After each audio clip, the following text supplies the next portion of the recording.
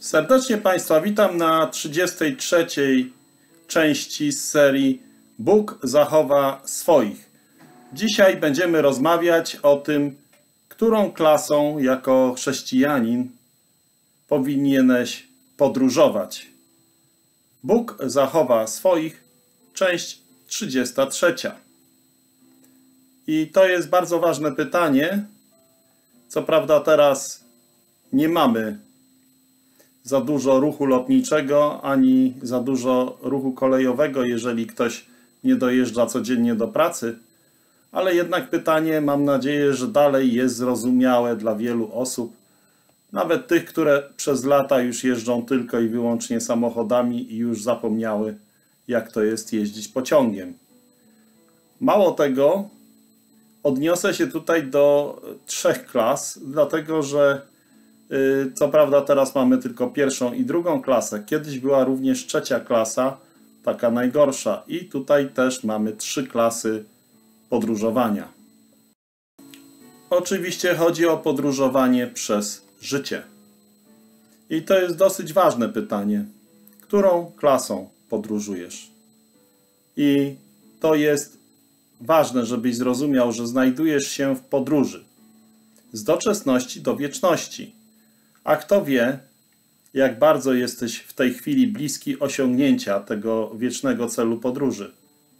Zatem to jest bardzo ważne pytanie i z całą serdecznością chciałbym je Tobie zadać. Którą klasą podróżujesz? I tak jak wspomniałem, na potrzeby dzisiejszego rozważania przyjmiemy, że są trzy klasy. Trzy klasy. I każda z tych klas oczywiście ma inny poziom komfortu. I to jest ważne, w której klasie podróżujesz przez życie. I tutaj jest bardzo ważne, żebyś pamiętał, że to, którą klasę zajmujesz, jest ważne nie tyle tylko jeśli chodzi o Twój komfort osobisty, ale również ze względu na tego, który na Ciebie patrzy, ze względu na Pana Jezusa Chrystusa, ze względu na tego, który jest sędzią całej ziemi. Bo przed Nim kiedyś będziesz musiał zdać sprawę. Każdy z nas będzie musiał przed Bogiem zdać sprawę. I jeżeli już mówimy o tych klasach, to pierwsza klasa to ci, którzy są zbawieni i wiedzą o tym. Czy jesteś zbawiony i wiesz o tym? Więc to jest pierwsza klasa. Klasa druga to ci, którzy nie są pewni zbawienia, ale go pragną. I trzecia klasa to ci, którzy nie tylko nie posiadają zbawienia, ale sprawa ta jest im zupełnie obojętna. I to można by porównać z taką sytuacją, którą sam kiedyś w życiu widziałem, ale nie przytaczam tamtej, tylko trochę inną, podobną do tamtej. Pewien mężczyzna, wyobraź sobie, że wpadł jak najszybciej na stację kolejową i cały zdyszany zajął miejsce w jednym z wagonów pociągu, który momentalnie, gdy wsiadł, ruszył. I jeden z obserwatorów mógłby powiedzieć, ale pan wspaniale biegł. Tak, odpowiedział był taki człowiek zadowolony, oddychając ciężko po każdym niemal słowie. Ale zaoszczędziłem dzięki temu cztery godziny, a to znaczy tak wiele, że warto było śpieszyć się. Sobie wyobrażacie? Zaoszczędził cztery godziny. Tyle trudu poniósł dla czterech godzin czasu. A co powiemy, jeśli weźmiemy pod uwagę całą wieczność? A przecież mamy w przyszłości yy, zajmować się wiecznością i teraz już dobrze by było, żebyśmy się nią zajęli. I przyszłość sięgająca przed nami bezkresnych horyzontów to jest coś, co jest najistotniejsze z punktu widzenia planowania. Mówię o przyszłości wiecznej. A przecież mamy przyszłość sięgających wzrokiem ludzi, którzy potrafią z dużą wnikliwością pilnować ich własnych interesów w tym życiu, a jednak wydają się być najzupełniej niewidomi, jeśli chodzi o zagadnienie leżącej przed nimi wieczności. Pomimo ogromnej miłości Bożej, pomimo tego, że krótkotrwałość ludzkiego życia na tej ziemi jest ogólnie znana, pomimo strasznego sądu, który oczekuje każdego człowieka po jego biologicznej śmierci i grozy znalezienia się w takiej sytuacji, że się nareszcie ocknął po stronie utwierdzonej otchłani, bo tak mówi Pismo Święte, utwierdzona otchłań, która nazywa się też w Biblii piekłem, jeziorem ognistym. Ludzie pędzą ku temu gorzkiemu końcowi zupełnie tak, jak gdyby nie było Boga. Nie byłoby śmierci w ich zachowaniu. Widać, że nie wierzą w istnienie sądu, czy nieba, czy piekła. Jeżeli i ty, drogi przyjacielu, tak żyjesz, to oby Bóg otworzył twoje oczy, abyś był w stanie zauważyć, jak niebezpieczne jest twoje położenie, bo stoisz w pewnym sensie na bardzo śliskim gruncie, na bardzo śliskim gruncie, który jest tak śliski, że nie jesteś w stanie zapanować nad tym, że ześlizgujesz się do przepaści, do przepaści wiecznej zguby. Tak, przyjacielu, może i w to nie wierzysz, obyś w to wierzył, ale sprawa twoja jest prawdziwie rozpacz, rozpaczliwa. Jesteś w rozpaczliwym położeniu. Zatem już nie odwlekaj więcej myśli o wieczności. Pamiętaj o tym, że zwlekanie i zostawianie na później, podobnie jak i ten, który cię tym zwlekaniem zwodzi, jest nie tylko złodziejem, ale i mordercą. I to jest bardzo ważny fakt. Morderca. Morderca na wieczność. I można by powiedzieć, że droga zatytułowana później wiedzie do miasta, które się nazywa Nigdy. I dlatego przyjmij tą przestrogę i moją prośbę, abyś już więcej drogą później nie szedł. Oto teraz dzień zbawienia, mówi Pismo Święte. I oto teraz dzień łaski, oto dzisiaj dzień łaski, oto teraz dzień zbawienia. Może nie należysz do tej najbardziej nieszczęśliwej grupy i nie jesteś obojętny, jeśli chodzi o sprawę dobra Twojej duszy. I Twoim głębokim kłopotem jest to, co wyraża się innym słowem, brak pewności, niepewność. Może ktoś cię przekonał, że zbawienie jest utracalne i z tego wynika twój brak nadziei, brak pewności, kompletne rozdygotanie. I wtedy mógłbyś o sobie powiedzieć, że jesteś pasażerem podróżującym tą tak zwaną drugą klasą i obojętność, ale też niepewność są dziećmi tego samego rodzica, niewiary. Niewiary, zabobonu, przesądu. Ta pierwsza, czyli obojętność, pochodzi z niewiary odnośnie grzechu i ruiny człowieka. Ta druga z braku wiary w Boże Królewskie lekarstwo – lekarstwo dla ciebie jako człowieka zgubionego. I to jest właśnie ważne, abyś osądził to, że to jest po prostu niewiara w Słowo Boże.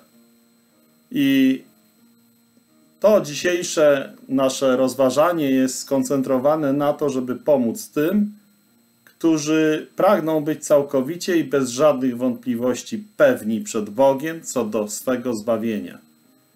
I rozumiem głęboki problem duszy takich osób, które mają niepewność, ale też mam pewność, że im bardziej na serio podejdziesz do studium Słowa Bożego, im bardziej na serio ustosunkujesz się do tej sprawy, tym większe będzie Twoje pragnienie, aż wreszcie uzyskasz całkowitą, zupełną pewność, że jesteś naprawdę i na całą wieczność zbawiony, nieutracalnie zbawiony, wieczne bezpieczeństwo jest udziałem każdego prawdziwego dziecka Bożego. Albowiem cóż pomoże człowiekowi, choćby cały świat pozyskał, a na duszy swojej szkodę poniósł, mówi Pan Jezus Chrystus. Jest to zapisane w Ewangelii Mateusza, 16 rozdział, 26 werset. Albowiem cóż pomoże człowiekowi, choćby cały świat pozyskał, a na duszy swojej szkodę poniósł.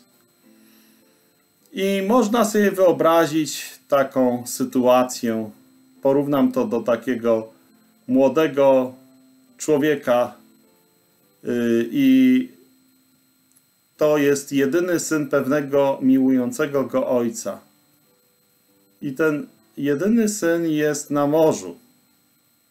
I przychodzą wiadomości, że okręt, na którym się znajdował ten syn, uległ rozbiciu na jakimś odległym wybrzeżu.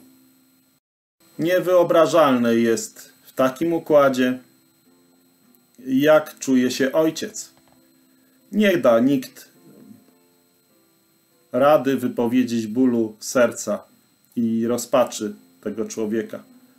I tak długo, dopóki według całkowicie miarodajnych wiadomości nie upewnił się, że jego syn żyje i cieszy się dobrym zdrowiem, będzie rozdygotany. Ale też można by się posłużyć innym przykładem. Załóżmy, że jesteś daleko od domu. Jest ciemno i zimno, mroźno, a droga całkowicie nie jest tobie znana. I dochodzisz do, rozstaja drogi, do drogi. Pytasz przechodnia, która z tych dróg prowadzi do miasta, do którego pragniesz dojść. A on tobie mówi, że myśli, iż chyba ta droga być może jest właściwa i że ma nadzieję, że gdy się na nią skierujesz, to prawdopodobnie nieźle trafisz i to miasto być może znajdziesz. No więc takie sformułowanie y, zawierające takie terminy jak myślenie, nadzieja, może zadowoliłoby kogoś, kto nie potrzebuje pewnej wskazówki. Ale tu przecież potrzebujesz pewnej wskazówki. I to jest bardzo takie mało precyzyjne określenie, które ten człowiek daje. No więc myślenie, nadzieja, być może, wydaje mi się, to są terminy, które nie zadowalają naszej duszy. Potrzebujemy pewności. W przeciwnym razie każdy krok, który robilibyśmy na złej drodze, powiększałby niepokój. Tak samo w tym przykładzie potrzebowałeś pewności, która droga prowadzi do właściwego miasta, i jeśli nie miałbyś tej pewności, to każdy krok oddalałby Twoją pewność. Każdy krok, który byś zrobił, powiększałby Twój niepokój. Zatem, czy można się dziwić, że niekiedy ludzie nie mogli ani jeść, ani spać, gdy ważyła się sprawa bezpieczeństwa ich nieśmiertelnej duszy? To można po prostu bardzo ciężko przeżyć. I jest rzeczą nader smutną, gdy stracisz majętności. Lecz strata zdrowia gorsza jest niż wszelkich kosztowności.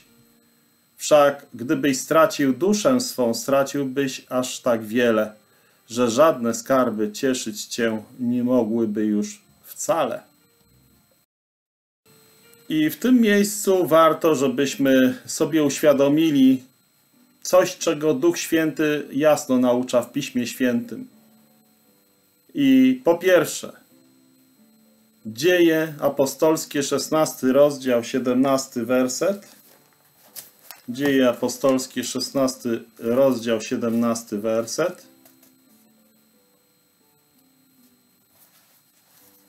Mówią o drodze zbawienia.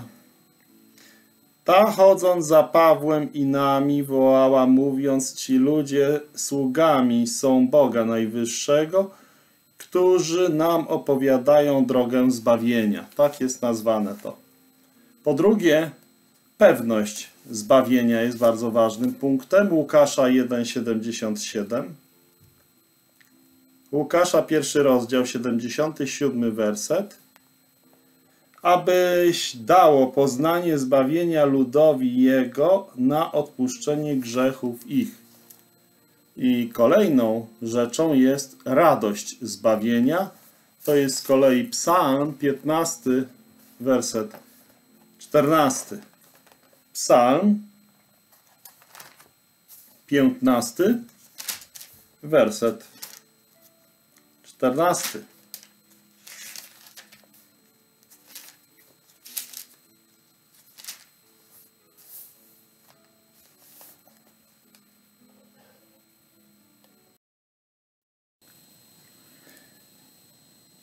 Przywróć mi radość z wybawienia Twego i wesprzyj mnie duchem ochoczym. Psalm 51, werset 14. Nie tak jak przed chwilą powiedziałem 15 werset, tylko 51.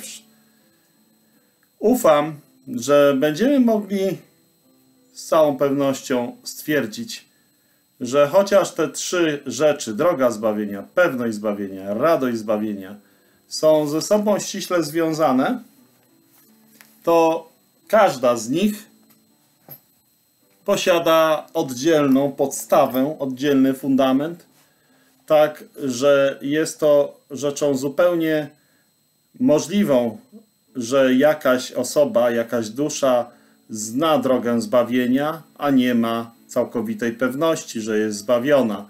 Albo też może wiedzieć, że jest zbawiona, a jednak nie mieć w sercu tej radości, która w sposób naturalny powinna towarzyszyć takiej świadomości. Więc jeżeli tak, to tutaj pierwszym punktem by było zastanowienie się nad tym, czym jest droga zbawienia. I nam może tutaj pomóc zerknięcie do drugiej księgi Mojżeszowej 13:13. 13. Łatwo zapamiętać. Druga Mojżeszowa, 13 rozdział, 13 werset. Druga Mojżeszowa, 13, 13.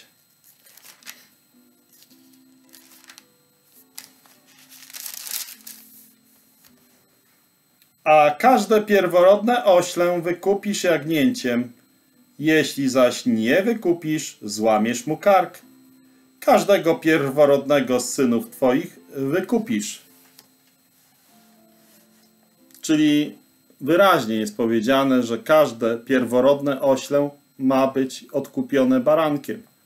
A jeśli by nie zostało odkupione barankiem, to wtedy ma mieć złamane, złamaną szyję.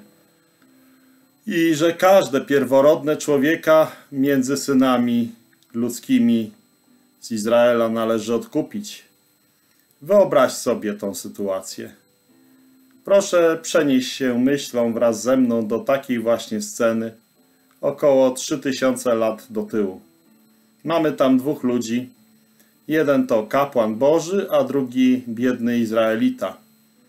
I obaj zajmują się bardzo poważną rozmową. Wyobraźmy sobie, że jesteśmy niedaleko nich i widzimy, jak rozmawiają. Widać, że bardzo poważna jest rozmowa, na jakiś ważny temat. I przedmiotem ich rozmowy jest małe oślątko, które drżąc stoi obok. Jeden z nich mówi: Przyszedłem się dowiedzieć, czy w tym przypadku nie można by zrobić choć raz tylko wyjątku, mówi Izraelita. To wątłe stworzenie jest pierworodnym mojego osła. A chociaż ja doskonale wiem, co mówi prawo Boże w tej sprawie, mam nadzieję, że okażecie mi łaskę i oszczędzicie życie tego oślęcia. Ja jestem biednym i jestem jednym z bardzo biednych Izraelu i z ledwością mogę znieść stratę tego bydlątka. I na to kapłan odpowiada: Prawo Boże nie ulega żadnej zmianie. Każde pierworodne oślę odkupisz barankiem. A jeśli byś nie odkupił, wtedy złamiesz mu szyję. Gdzież jest baranek? Ach, panie, ja żadnego baranka nie posiadam. Wobec tego idź, kup go i powróć, w przeciwnym bowiem razie szyja oślęcia na pewno zostanie złamana. Musi umrzeć baranek albo oślę. I wszystkie nadzieje moje stracone zawołał. Jestem zbyt ubogim, abym mógł kupić baranka. W wyniku tej rozmowy przyłącza się do nich jakaś trzecia osoba, a słysząc o smutnym losie ubogiego człowieka, zwraca się do niego z tymi uprzejmymi słowami: Nie płacz, nie smuć się, ja mogę ci dopomóc. Mamy w naszym domu baranka, wychowanego przy nas, który jest bez skazy i zmarszczki. Nigdy nie oddaliło się ono od domu, nic dziwnego więc, że wszyscy domownicy bardzo je lubią. Przyprowadzę tego baranka i natychmiast śpieszy ku swojemu domowi, a za chwilę widzimy go, jak przyprowadza delikatne, piękne, małe stworzenie i chwilę później baranek i oślątko stoją obok siebie, a potem baranek zostaje związany, położony na ołtarzu, jego krew wylana i ofiarę trawi ogień. W wyniku tego sprawiedliwy kapłan zwraca się do ubogiego męża z tymi słowy. Możesz bezpiecznie zabrać do domu swoje oślę. Teraz szyja jego już nie będzie złamana. Bo baranek umarł za oślę, a więc oślę w sprawiedliwy sposób zostało uwolnione. Stało się to w wyniku tego, że baranek poniósł za niego śmierć. I tutaj z tej historii warto, żebyś wyciągnął dla siebie wnioski. W obrazie tym widać wyraźnie sytuację grzesznika i widać, jak doskonałe jest dokonane zbawienie. Boże wymaganie w stosunku do Twojego grzechu to w cudzysłowiu złamać mu szyję, to znaczy wykonaj sprawiedliwy sąd nad Twoją głową, bo jesteś winowajcą. Jedynym wyjściem byłaby śmierć. Twoja śmierć albo śmierć jakiegoś przez Boga przyjętego zastępcy. Ty sam nie mógłbyś sam znaleźć niczego, co mogłoby zadość uczynić takiemu wymaganiu, ale w osobie Jego umiłowanego Syna Bóg sam darował za Ciebie tego baranka. O Panu Jezusie było powiedziane, oto baranek Boży. Tak powiedział Jan swoim uczniom, Jan Chrzciciel, gdy wzrok Jana Chrzciciela padł na tego błogosławionego bez skazy i powiedział o Panu Jezusie, oto baranek Boży, który gładzi grzech świata. Czytamy o tym w Ewangelii Jana, pierwszy rozdział, 29 werset. Ze słów Pisma Świętego wiemy, że aż na Golgotę poszedł Chrystus jako nasz baranek na zabicie. Jako baranek na zabicie był wiedziony. I tam raz za grzechy cierpiał, sprawiedliwy za niesprawiedliwych, aby nas przywiódł do Boga o czym czytamy w pierwszym liście Piotra, trzeci rozdział, osiemnasty werset. On wydany jest dla grzechów naszych, a wstał z martwych dla naszego usprawiedliwienia, jak mówi list do Rzymian, czwarty rozdział, 25 werset. W wyniku tego Bóg ani trochę o swojej sprawiedliwości nie odstępuje, nieugięte stoją nadal jego święte żądania przeciwko grzechowi, gdy usprawiedliwia, to znaczy uwalnia od każdego zarzutu winy niepobożnego grzesznika, który wierzy w Jezusa, bo o tym czytamy w Rzymian 3 rozdział 26 werset. Rzymian 3:26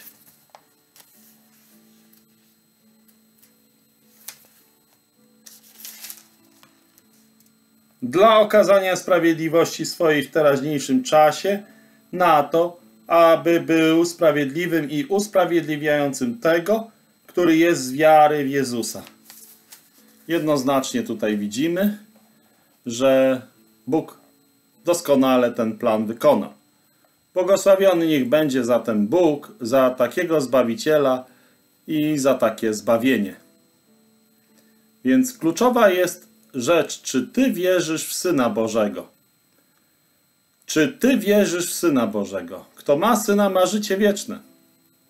Być może powiesz, jako osądzony grzesznik znalazłem w Panu Jezusie tego, któremu mogę bezpiecznie zaufać i wierzę w Niego. Czyli na to pytanie, czy Ty wierzysz Syna Bożego, odpowiadasz pozytywnie. To jeśli tak, to mogę Ci powiedzieć, że z punktu widzenia Bożego przypisana zostaje Ci w takim razie pełna wartość Jego ofiary i śmierci, zupełnie tak, jak gdybyś Ty sam tego wszystkiego dokonał. I to jest cudowna droga zbawienia. Czyż nie jest ona wielka i wspaniała? Jest. Bogu podobna i godna jest samego Boga.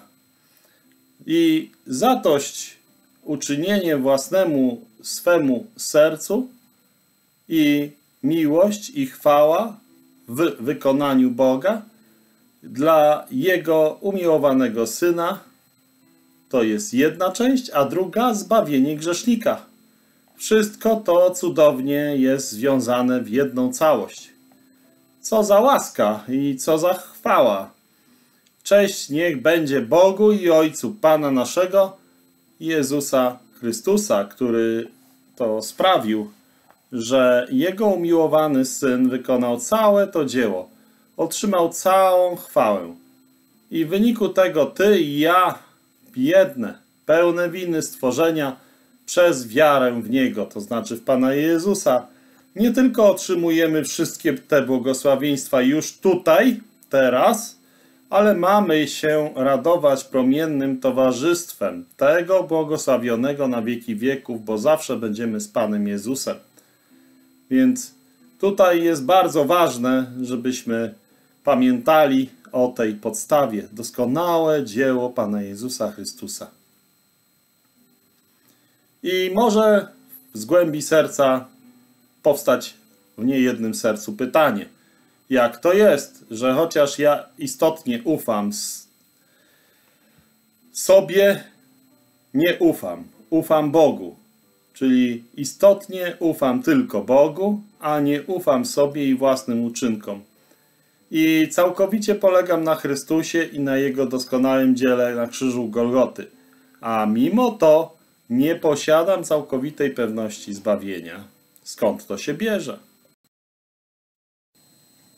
I nie mam pewności zbawienia. Myślę, że zbawienie da się utracić. Jeśli moje uczucia jednego dnia poświadczają mi, że jestem zbawiony, nieutracalnie zbawiony, to następnego dnia niemal zupełnie wszystko się zmienia i unicestwione jest wszystko przez te uczucia. Unicestwiona jest wszelka nadzieja i zdaje się, że jestem podobny do okrętu, który miota się przez burzę bez jakiejkolwiek kotwicy. I to jest dosyć błędne podejście. Czy kiedykolwiek już słyszałeś, aby jakiś kapitan, na przykład okrętu, starał się zakotwiczyć swój statek wewnątrz? Nie, nigdy tego nie robił. Zawsze kotwicę zarzuca się na zewnątrz okrętu. Możliwe, że jest to całkowicie jasne dla ciebie, że tylko śmierć Chrystusa może ci dać bezpieczeństwo. Ale być może równocześnie myślisz, że pewność tego daje ci to, co czujesz. Raz jeszcze muszę na to zwrócić uwagę i proszę cię, otwórz swoją Biblię, albowiem chciałbym, abyś ujrzał ze Słowa Bożego, jak Bóg daje człowiekowi pewność zbawienia. Jednak zanim zwrócimy się do tego miejsca ze Słowa Bożego, o który chciałbym trochę powiedzieć. Bardzo starannie będę chciał, żebyś go przeczytał, bo mówi on o tym, jak wierzący może wiedzieć z całą pewnością, że ma życie wieczne. Zatem najpierw no, zrobię coś, czego nie lubię. Przytoczę ten fragment zniekształconej postaci, nie tak jak jest w Biblii, tylko tak jak niektórzy go odczytują. I teraz go cytuję. Te szczęśliwe uczucia, teraz go nie cytuję, tylko parafrazuję fałszywie, błędnie. Dlatego ostrzegam przed tym teraz cytatem. Te szczęśliwe uczucia dałem wam, którzy wierzycie w imię Syna Bożego, żebyście wiedzieli, że macie życie wieczne. I teraz zerknij do Biblii i zobacz, jak naprawdę wygląda ten tekst. I gdy będziesz porównywał to, co przed chwilą powiedziałem fałszywie, z prawdziwym Słowem Bożym, błogosławionym i niezmiennym, to myślę, że byłoby dobrze, abyśmy obaj się modlili o to, aby sam Bóg umożliwił ci, byś mógł powiedzieć wraz z Dawidem: Wymysły mam w nienawiści, a prawo Twoje miłuję, jak mówi Psalm 119, werset 113.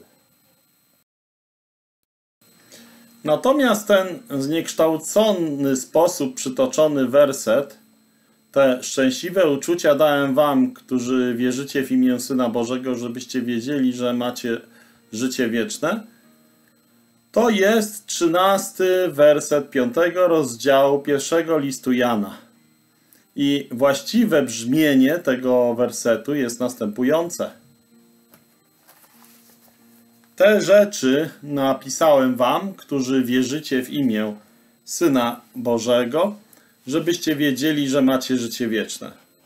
Zatem w jaki sposób pierworodni synowie tysięcy Izraelitów wiedzieli z całą pewnością, że w noc przejścia pańskiego i sądu nad Egiptem byli całkowicie bezpieczni, o czym czytamy w 2 Mojżeszowej 12 rozdział.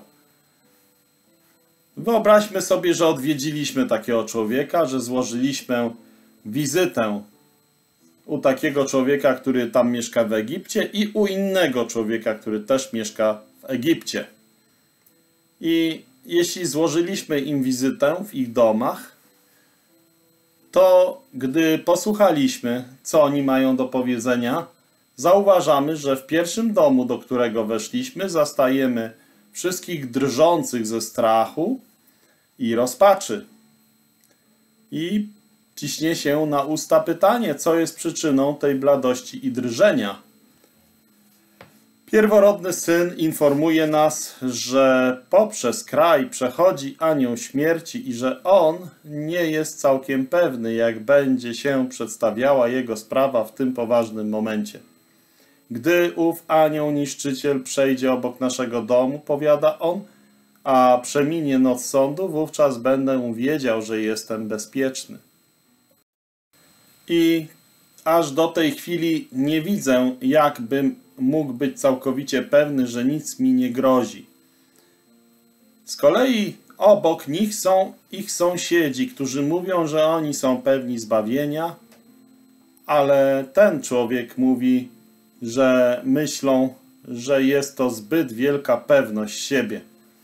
Wszystko, co widzi taki człowiek, że może uczynić, to spędzać tę długą noc w nadziei, że wszystko będzie dobrze. Można by wtedy spytać, ale czy Bóg Izraela nie dał swemu ludowi sposobu do uzyskania bezpieczeństwa? Ten człowiek może nawet by odpowiedział, oczywiście. I my uczyniliśmy wszystko, co należało uczynić, aby uniknąć tego sądu. Krew jednorocznego baranka bez zmarszczki, skazy i wiązka hyzopu została użyta według polecenia do pomazania górnej belki. Bo to było polecenie, które brzmiało, żeby właśnie ta krew była widoczna, gdy ujrzę krew, minę was. I gdy zostały pomazana górna belka i boki, i dolna, yy, i boki naszych odrzwi, to zostało spełnione to polecenie Boże. Ale w tym domu wciąż jeszcze ludzie nie są całkowicie pewni, że nic im nie grozi. I wyobraźmy sobie, że przejdziemy do tego domu obok. Opuścimy tych biednych, pełnych wątpliwości i niepokoju i przejdziemy do ich sąsiadów, o których oni się wypowiadali, że znają. I jakiś ogromny kontrast zauważamy na pierwszy rzut oka. Na każdej twarzy widać pokój. Oto stoją z przepasanymi biodrami, z kijami w ręku, spożywając pieczonego baranka. Cóż może znaczyć pokój w taką noc? Ach, wszyscy oni mówią. My tylko czekamy, aby z ust Pana padł rozkaz wymarszu. A wtedy po raz ostatni powiemy żegnam naszym brutalnym dozorcom, ich biczowi i całej wstrętnej niewoli egipskiej. Ale chwileczkę. Czyż zapomnieliście, że jest to noc sądu nad Egiptem? Można by ich spytać. Oni wtedy mogliby odpowiedzieć: My dobrze o tym wiemy, ale nasz pierworodny syn jest bezpieczny krew została wylana i według życzenia naszego Boga pokropiono nasze odrzwia. Tak samo przecież uczyniono obok, się ciśnie pytanie na usta. Ale oni wszyscy są bardzo nieszczęśliwi, gdyż zupełnie nie mają pewności, że im nie grozi niebezpieczeństwo. No i wtedy usłyszelibyśmy, ach, na to odpowiedź jest jedna. My mamy więcej niż pokropiona krew. My mamy nieomylne Słowo Boże i w związku z jej wylaniem Bóg powiedział, gdy ujrzę krew, ominę was. I to jest bardzo ważne, żeby to rozumieć. Bóg jest zadowolony skoro krew jest na zewnątrz, a my jesteśmy bezpieczni tutaj, wewnątrz, polegając na Słowie Bożym. Pokropiona krew czyni nas bezpiecznymi i powiedziane Słowo czyni nas pewnymi. Czy cokolwiek mogłoby uczynić nas bardziej bezpiecznymi niż pokropienie krwią, albo bardziej pewnymi niż jego wypowiedziane słowo? Niemożliwe. Nic bardziej. I skoro tak, to ciśnie się pytanie na usta.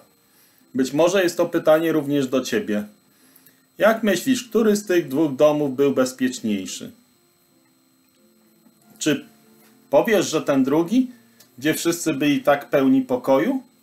Jeśli tak, to się mylisz. Oba domy są jednakowo bezpieczne. Ich bezpieczeństwo polega na tym, co Bóg mówił o krwi znajdującej się na zewnątrz. Powiedział, gdy ujrzę krew, minę was. A nie, nie jest oparte na stanie ich uczuć. Nie na tym, co działo się wewnątrz ich serc. Jeżeli pragniesz być pewnym swego własnego bezpieczeństwa, Nigdy nie słuchaj niestałego świadectwa Twoich własnych uczuć, ale polegaj tylko na niewzruszalnym świadectwie Słowa Bożego. Tutaj warto przeczytać Ewangelię Jana 6,47.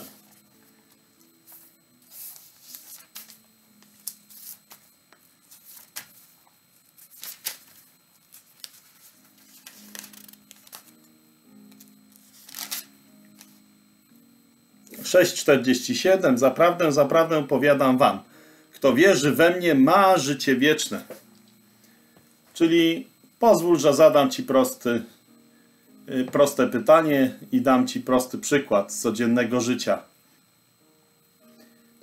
Pewien gospodarz, nie mając dostatecznej ilości trawy dla jego bydła, złożył prośbę o uzyskanie pięknego kawałka pastwiska, o którym słyszał, że było do wynajęcia, a które znajdowało się w pobliżu jego domu. Przez dłuższy czas nie otrzymywał odpowiedzi od jego właściciela. Pewnego dnia jednak jego sąsiad przyszedł go odwiedzić i mówi: Jestem całkowicie pewny, że dostaniesz to pole.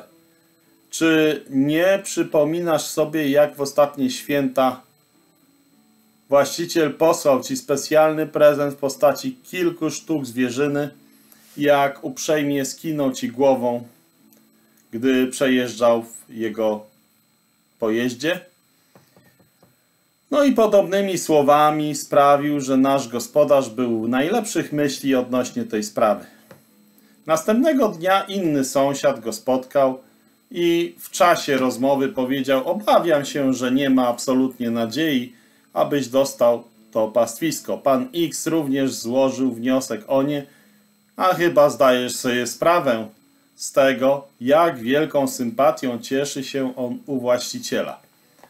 Tak więc nadzieje tego biedaka zostały zgoła rozbite i prysnęły jak bańka mydlana. Wtedy możemy zauważyć, że jednego dnia był pełen nadziei, a drugiego dnia pełen rozpaczliwych wątpliwości. Ale niebawem przychodzi listonosz, a serce gospodarza puka prędko, gdy otwiera kopertę listu. Już z pisma na kopercie poznaje, że jest to list od właściciela tego pola. Wyraz jego twarzy, od bardzo niespokojnego w trakcie czytania tego listu, zmienia się na pełen radości i nieukrytego zadowolenia. Teraz sprawa jest już załatwiona, woła do swojej żony. Już nie ma więcej wątpliwości ani obaw. Mam nadzieję i może już są sprawą przeszłości. Właściciel tego pola pisze, że pole jest moim tak długo, jak długo je potrzebuję. I to na bardzo dogodnych warunkach. To mi wystarczy. Teraz już nie dbam o niczyją opinię. Słowo Boże decyduje zatem o wszystkim. Jeśli porównamy ten przykład z naszą sytuacją, to pismo od właściciela jest odpowiednikiem pisma świętego. Skoro pismo święte coś mówi, to jest tak i amen. Dziękuję Państwu za uwagę. Zachęcam do czytania Biblii, Słowa Bożego. Jeśli nie masz Nowego Testamentu, możesz do mnie napisać na SMS 739089088 albo na e-mail czytaj.biblię małpa onet.pl Zatem dziękuję za uwagę. Z Bogiem.